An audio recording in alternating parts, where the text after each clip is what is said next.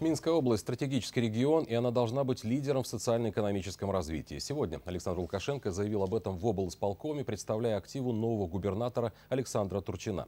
Президент поблагодарил за работу и предшественника Турчина. Анатолий Саченко покинул пост по состоянию здоровья, но будет исполнять обязанности уполномоченного президента по Минской области. Вместе с этим войдет в Верхнюю палату парламента. Что касается ситуации в регионе, решение актуальных задач требует большей самоотдачи и энергии, отсюда и ротации. На Минщине разве развита промышленность, сосредоточена четверть всего сельхозпроизводства страны, пятая часть экспорта и инвестиций. За последние 10 лет экономика региона выросла на 37%, в то время как в среднем по республике на 10%.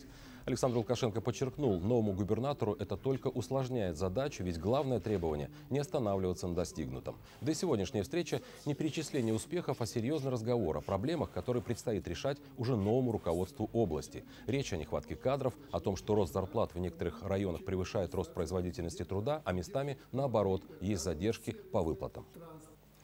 Мы когда-то людям, и я от вашего имени, говорил о том, что мы будем стараться подтянуть зарплату среднюю по стране до 1000 рублей. Это кровь с носа надо сделать, и мы это сделали. Но надо сейчас посмотреть на низкооплачиваемые слои населения, которые э, несут очень серьезную нагрузку. Я часто провожу пример там э, санитарки, нянечки, медсестры в больницах – в детских садиках. В течение этого года мы понемножку подтягивали их зарплату, но это недостаточно. Если надо где-то кого-то догрузить, вы обязательно догрузите до этих 500 долларов. Я часто тоже привожу пример, ну, наверное, вы в жизни столкнулись. Типа, уборщица пришла, полтора-два часа тряпкой повозила, в школе, еще где-то там, ушла. Дайте 500 долларов, президент сказал. Так а сколько ты в день работаешь? Поэтому надо нагрузить человека, но и заплатить. Настораживает также сокращение количества предприятий в регионе, ситуация на рынке труда. Особое внимание Александр Лукашенко обратил на Клецкий, Копольский, Любаньский и Уздинский районы. Жители должны ощутить изменения в лучшую сторону в ближайшие полгода. Для этого президент поручил изучить вопрос выноса за пределы Минска крупных промышленных производств. Их потенциал можно использовать для поддержки отстающих районов. В общении с активом Минской области речь шла и об итогах недавней избирательной кампании. Это наша страна. И мы с вами будем определять, как ей быть дальше. Но ни в коем случае нельзя растопыренными пальцами удерживать власть, ибо будем пожинать плоды, как у наших соседей. Мы избрали неплохой, я чувствую неплохой по, по составу парламент. Не хуже, чем было в былые годы. Может быть лучше.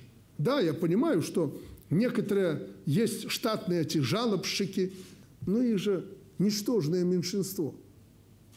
Многие люди приходят, потому что некому им помочь. И они вправе рассчитывать на власть. Власть от народа, как мы говорим. Поэтому я вас очень прошу, помните, что сегодня мы с большими портфелями, а завтра мы будем обычными людьми. Чтобы не было мучительно больно вот за эти годы перед народом. И чтобы у нас потом как в народе говорят, палками не бросали или камни в окна не забрасывали.